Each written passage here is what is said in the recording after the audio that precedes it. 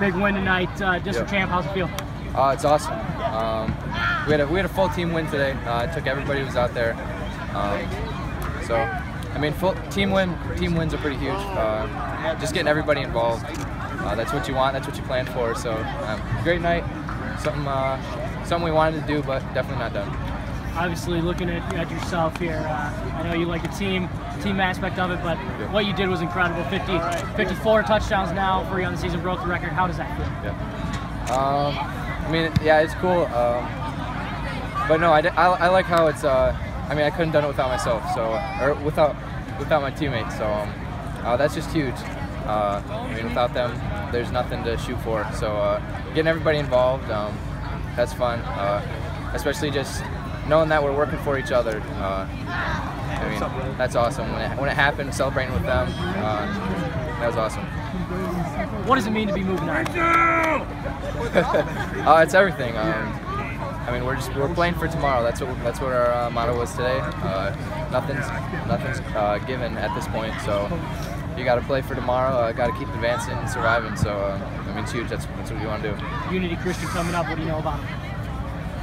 I mean, focusing on them. So I mean, we'll start looking at that tomorrow on film. And uh, I guess uh, not only did you break the touchdown record today, but you had seven touchdowns total, six uh, through the air and uh, five or one rushing.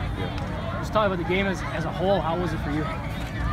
Uh, I mean, our wideouts just did a great job, especially Widge. I mean, uh, Andrew Widger just making plays out there. Uh, I mean, our guys uh, just stepping up huge today, especially the O line. Um, them and Lawrence Pelkey uh, just taking on those rushers, uh, their, their blitzers, um, and then our wideouts were huge today, coming up in the run game, uh, creating seams outside uh, for us to get to the edge was pretty huge. Did you know that it would take this kind of performance from the offense to get the job done? Oh yeah, for sure. Um, I mean, you plan for a full, full, full four quarters uh, each game. Uh, I mean, everybody's made it this far, so you got to be good. Uh, there's no, there's no easy wins at this point, that's for sure. Uh, so no, we planned for a full four quarters, and uh, that's just what we came out here and did.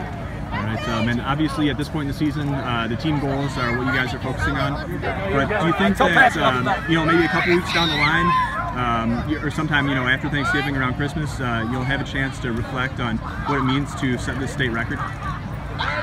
Uh, maybe when I'm like 40, but not, not right now. I'm not focusing on that. All right, um, and uh, yeah, what does it mean for you um, as a three-year quarterback in this program to lead it to a place it's never been before in the uh, district championship? win? Uh, I mean, it's awesome, especially just because uh, like our group of guys have been playing together for so long. So uh, that's huge, especially uh, just us sticking together. Um, we're a tight knit group, um, so being able to do it with them is pretty huge. Uh, I'd say that's what I like the best.